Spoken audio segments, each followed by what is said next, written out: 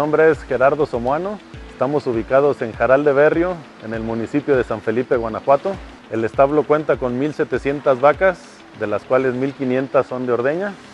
Eh, son más o menos 40% del establo es cruza Jersey con Holstein. Producimos más o menos un promedio de 36 litros por vaca por día en tres ordeños. Somos autosuficientes en el reemplazo, tenemos el 112% de becerras en relación a las vacas.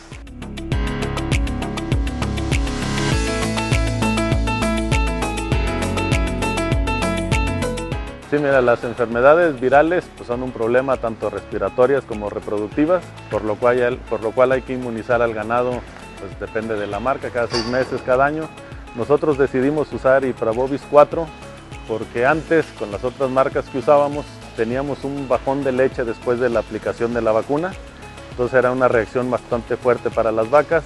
Decidimos usar Iprabovis 4 para ver si el efecto del bajón de leche era menos notorio y lograr una muy buena inmunidad hacia las vacas contra estas enfermedades.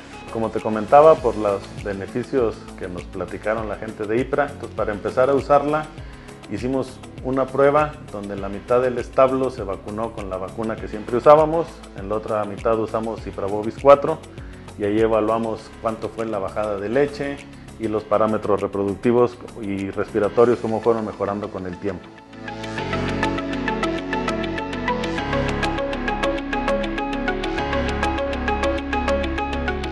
Bueno, nosotros llevamos ya usando la vacuna tres años y una de las principales ventajas que le vimos sobre las demás es que el bajón de leche después de aplicar la vacuna masiva es que se redujo bastante, lo cual pues, nos da un mejor margen después de la vacuna.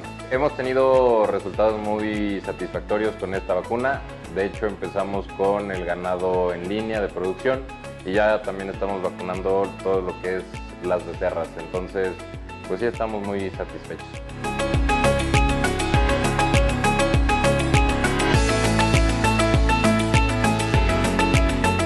Sí, estamos muy contentos con los resultados que hemos obtenido, puesto que ya no tenemos tanta caída de leche cuando hacemos aplicación por sábana a todo el ganado y los parámetros reproductivos pues cada año van mejorando, que eso pues nos, nos da mucha satisfacción y nos hace seguir usando la vacuna.